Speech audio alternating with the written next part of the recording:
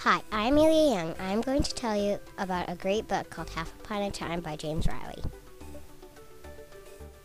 A princess has dropped from the sky, and a boy named Jack has seen her fall out of nowhere.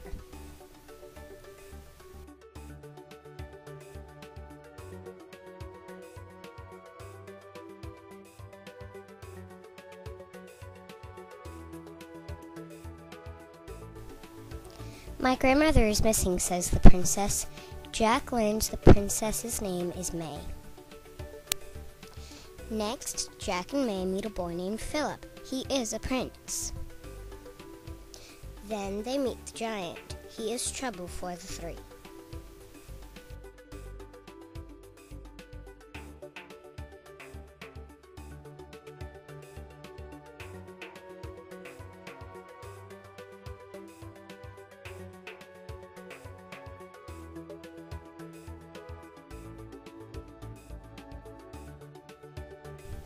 So Jack really knows his world and he believes Malevolent is the Wicked Queen, and they think the Wicked Queen is danger to May's grandma.